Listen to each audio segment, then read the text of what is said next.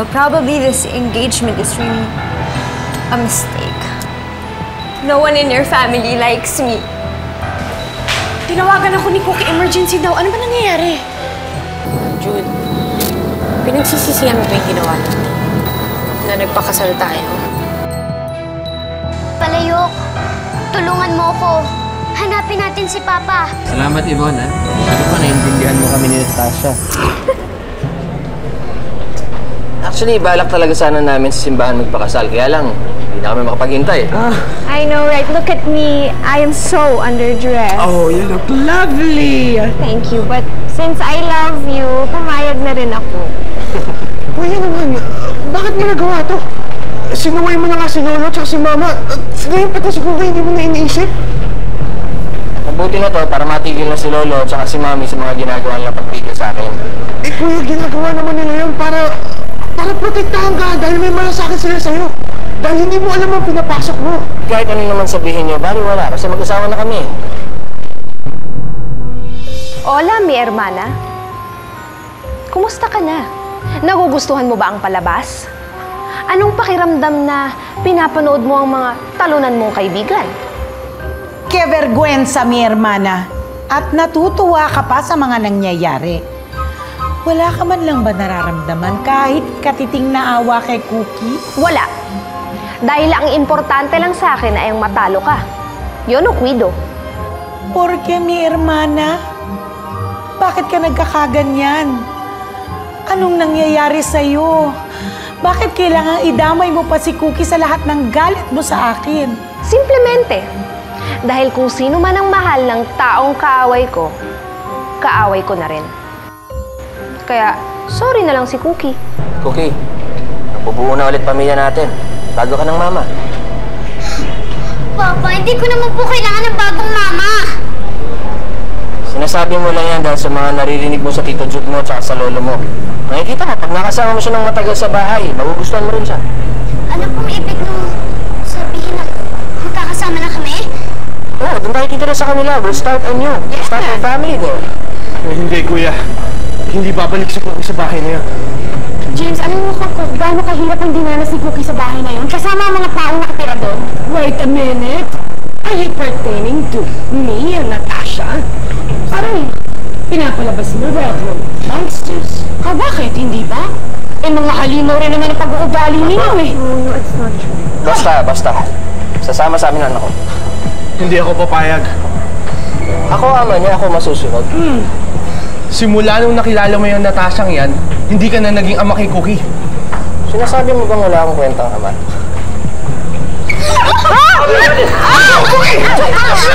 Oh my God! Ah! Wait, wait, wait! My dress is caught up on my hip. Get up, Natasha! You're leaving! Wait, wait! It's so bad! Hindi naman ako papayag na maging manugang yung babaeng yon. At hindi rin pwedeng mapunta sa kanila uli si Cookie. Well, man, natakas lang namin siya kanina. Sigurado akong hindi sila titigil hanggat hindi nila nakukuha si Cookie. Jude, anong gagawin mo pag nagpunta ulit si James para kunin si Cookie? Siya ang may legal na karapatan sa bata. Well, nakausap ko na yung lawyer ko tungkol dyan. At sabi naman niya, binigay ng korte ang custody ni Cookie sa kanya. Cookie, alam kong naguguluhan ka sa mga nangyayari ngayon. Pero pangako ko sa'yo, hindi ko hahayaan na mabalik ka dun sa bahay ng Ate Yvonne at ng Ate Natasha mo. Kung gusto mo, dito ka muna tumira. Wala na silang magagawa kasi binigay nila ang custody mo kay Mama. Ayoko po talagang tumira kay ng Auntie Yvonne. At ayoko rin naman po kayong iwan. O si Lola Alicia at pati na rin po si Lolo Ipe. E paano po kapag yun na lang yung paraan para makasama ko si Papa? Mahal na mahal ko po siya. At ayoko po magkahiwalay kami. Naiintindihan kita, Cookie. Pero hindi ka namin mababantayan ng Ate Pilar mo kung sa kanila ka nakatira. Paano po si Papa? Mag-isa lang po siya doon. Paano po kapag pagtulungan siya ni na Auntie Yvonne? Cookie, malaki na ang papa mo. Kaya niya nang protektahan ang sarili niya. Ikaw po ba, Ate Pilar, kapag po nangyari ito sa inyo, papabayaan niyo po ba si Tatay Andong? Hindi ka po ba sasama sa kanya?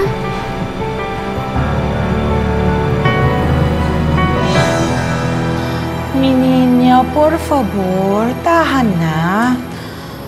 Alam mo namang nahihirapan din ang kalooban ko pag nakikita kitang umiiyak. Hindi ko na po alam kung anong gagawin ko. Nahihirapan na po akong pumili kung sino pipiliin ko.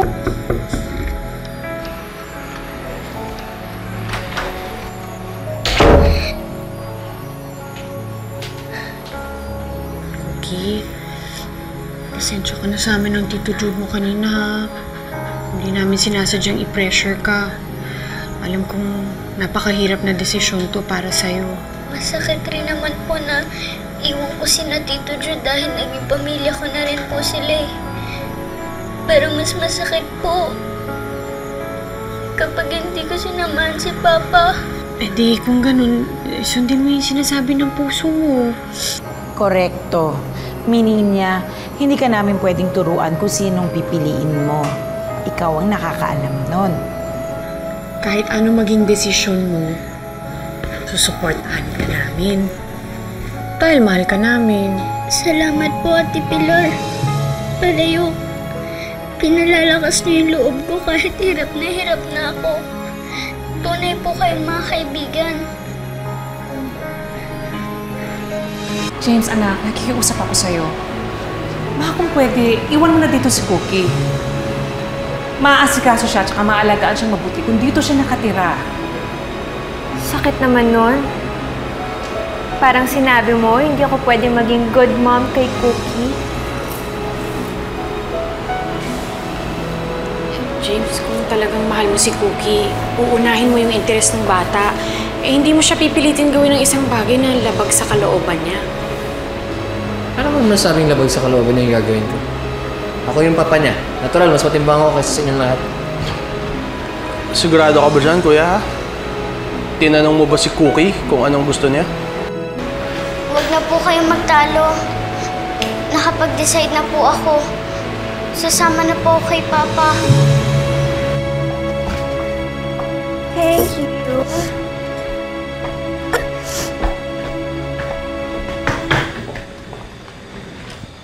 Ah, Cookie. You cannot bring your palayok to our house. Kung gusto mo, iwan mo na lang dito or tapon mo na lang kaya. Mas better yon. Hindi po pwede. Importante po to sa akin. James, Hmm. yung anak mo. Hindi ako sinusunod. Cookie, anak. Um, iwan mo na yan. Sige, nasundin mo yung mama Natasha mo. Pero Papa, pagbigyan niyo naman po ko na to. Huwag nang matigas ang ulo. Sumunod ka na lang. Pero Papa, Anong gusto mo? Iiwan mo siya o babasagin ko yan dito?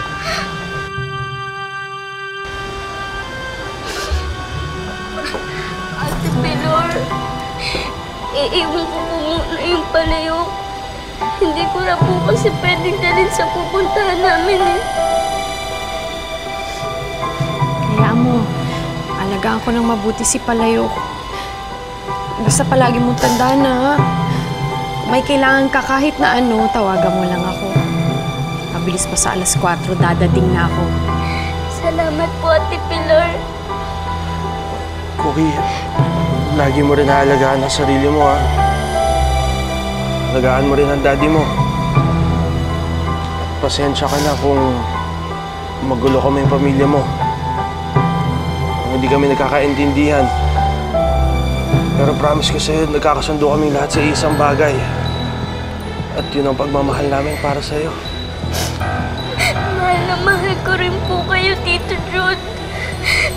Mamimiss rin po kay Ate Pilor. At pati na rin po kayo, Lola. Hindi hindi ko po kayo makakalimutan.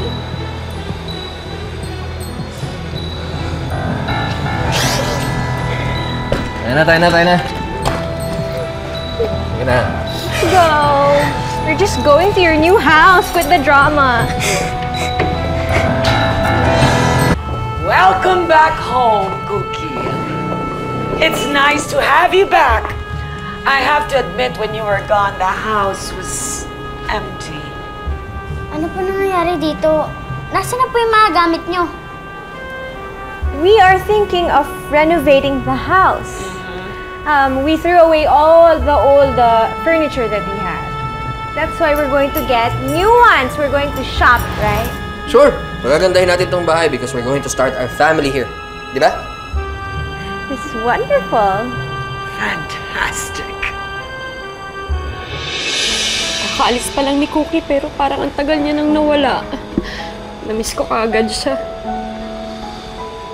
This house will never be the same again. Wala nang sasalubong sa akin pag uwi ko. Wala nang magluluto ng mga paborito ko. Wala na rin kakatok sa kwarto ko tuwing gabi para mag-good night. Alam mo, hanggang ngayon hindi ko pa rin matanggap na kasama na naman ni Cookie ang mga tiyahin niyang magaspang ang ugali. Wala naman tayo nagawa para pigilan yun. Ilara, si Cookie ang namili. Kailangan natin tanggapin at igalang yung choice niya. Gaya ng desisyong ipawalang bisa ang kasal natin. Kailangan nating tanggapin na hindi na tayo mag-asawa. Pilar, Jude, sa tingin ko, kailangan ko na umalis. Salamat sa lahat-lahat. Pag ganito ng ganito, tataba ako eh. Well, you know, anything for you because you are my husband. Kahit na ano yan, dapat pinakamasarap na pagkain pa rin. Hmm, sarap yan. Kahit na magkabaon-baon na ako sa utang. Teka, teka, teka. Ano sinasabi mo? Anong utang? Ba't, ba't, ba't may utang? Well, um, actually kasi yung restaurant ni Natasha has been losing money. Bumababa ang sales. Kaya nagkapatong-patong ang financial problems namin. Ba't hindi mo sinasabi sa akin may ganun ka palang problema? Eh, nakakahiya naman kasi. And ayokong i-share mo pa yung problema ko. Problema ko yun. Eh, sandali. Mag-asawa tayo. Dapat sa atin nagtutulungan. I couldn't agree more. See? Magkano ba yung kailangan mo para makakawala ka na sa sa utang tapos maiayos na yung restaurant mo? Uh, around mga ano, 20 million. Here. Come on, it's okay. Hindi ah. 20 mil. Tama ba yung nilatig ko? 20 That- million? Yes, Ganun 20 kalaki? million. Twe- Kaya nga ayoko sabihin because eksakto, ganyan ang magiging reaction Nabigla mo. lang ako. Ang laki. Ay nako, pero don't worry because problema ko to, akong bahala dito. I just have one request. Pag ako nakasuhan ng estafa at pag ako talaga nakulong, please, please, visit me in the correctional. That's all I'm asking for. But of course, sister, we will. I will. Sandali, sandali, sandali. Walang makukulong, okay? Hindi ka makukulong, hindi ka makakasuhan ng estafa. Gagawa natin to ng paraan. Kahit magnakaw ako, basta bubuhin natin 20 million para matapos ang problema mo. Ah, but James, James, actually, hindi mo na kailangan magnakaw. Do you know that your dead wife left a very hefty trust fund for Cookie? Baka naman pwede na lang nating hiramin muna yung 20 million doon para matapos na mga problema. I was thinking the same thing. Because pwede ko naman talagang ibalik yung pera pag nabawi na namin yun sa restaurant. Yeah. Papa, wag ka po pumayag. Niloloko ka lang po nila. Habol lang po nila yung perang minana ko kay Mama. No, Cookie, that's not true. Wala naman sigurong masama, di ba? Gusto ko lang hiramin yung pera. Babalik ko naman. Okay? Hindi dapat nagdadamot. Isa pa, mama mo na siya. Dapat nga tinutulungan mo siya eh. Pero Papa, Okay na, sige na. Let's not discuss this anymore. Your problem is solved tomorrow. Mag-withdraw ako bukas na bukas na. Thank you so much. Papa, wag ka po pumayag. Niloloko ka lang po nila. Tama po si Tito Jude. Niloloko ka lang po nila, ginagamit ka lang po nila Auntie Natasha at Auntie Yvonne para makuha nila yung pera ko.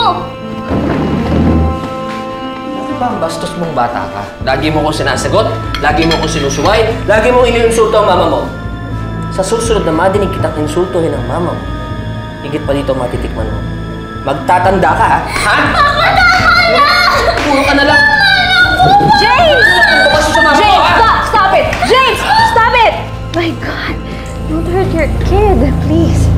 Mama, bakit ganun? Bakit ganun si Papa? Bigla na nagbago yung ugali niya. Akala ko po, kapag matatagpuan ko na yung tunay kong Papa, siya yung magiging tagapagtanggol ko. Pero bakit ngayon, siya pa yung mismo mananakit sa akin?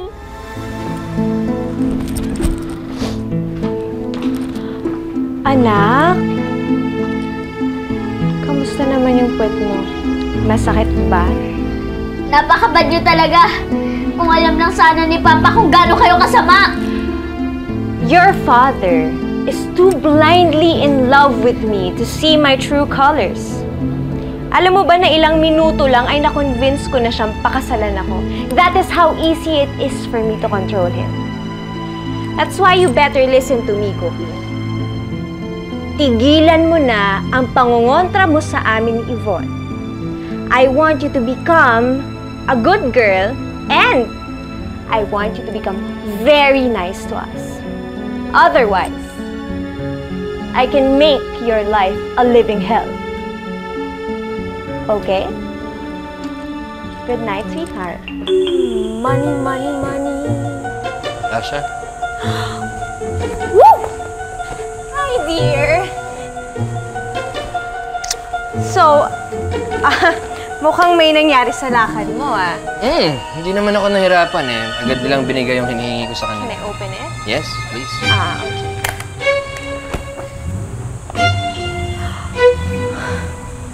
This is everything, right? 20 million pesos. You are the most marvelous thing in this world. I'm so blessed. Thank you so much.